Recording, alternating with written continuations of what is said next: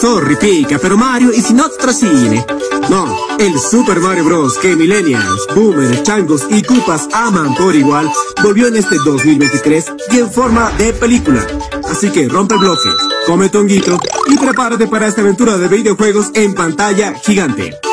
Super Mario Bros. está on fire. Las referencias, la música, las voces, los memes. Los geeks amantes de los videojuegos están ojo al char que ya han encontrado referencias no solo a la infinita recreación de Mario a través de los tiempos, sino también a todo el universo de Nintendo.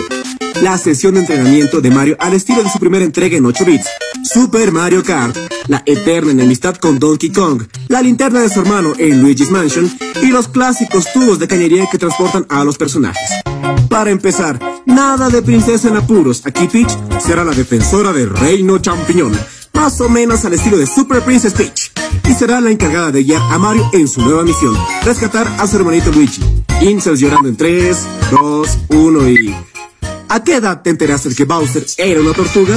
Pues esa misma seguirá tratando de secuestrar a la princesa, pero no para atrapar a Mario, sino para llevarla al altar. Aprendan Sims. Y si ves la peli en español, no te vas a dar cuenta, pero Jack Black hace su voz y nos regala un cumbión digno de un Oscar. Peaches, peaches, peaches, peaches, peaches, peaches, peaches, peaches, peaches, peaches.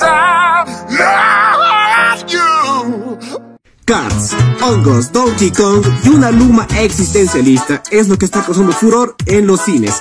¿Estás listo para una aventura Nintendera? ¡Sí!